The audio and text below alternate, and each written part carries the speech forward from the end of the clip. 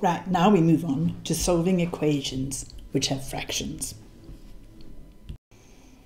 Say we asked to solve a little monster like this one. It's got fractions on both sides. Well, the first step we are going to take here is to get rid of the fractions because really none of us like working with fractions. So we're going to try and get rid of the fractions. How do we do that?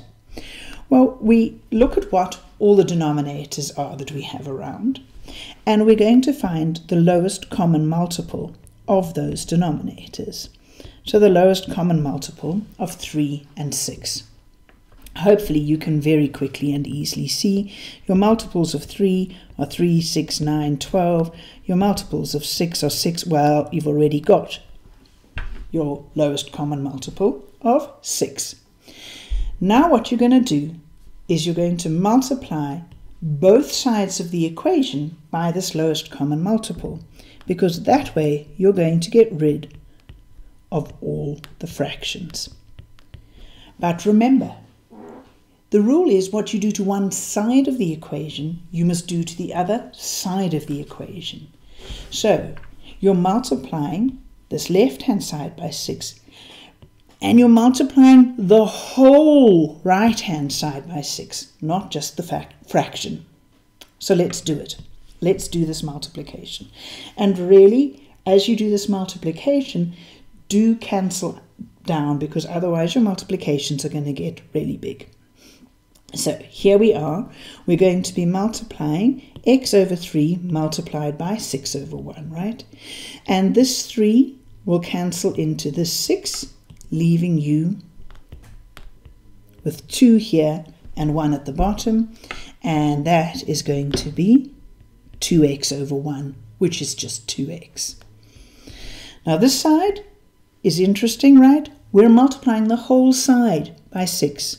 So 6 has to multiply with this, and it has to multiply with this, your distributive law. So 6 must multiply with 2, that's easy. 6 times 2 is 12. Here, when we multiply 5x over 6 with 6, the 6 will cancel with that 6 and we'll just be left with 5x. Now that we've got rid of our fractions, we've got a very simple, sweet, normal equation. So we want to get all the x's on the left and all the numbers on the other side. So we want to get this 5x away from here. So we are going to add 5x onto this side. So then we must add it onto that side and we will get 7x is equal to 12.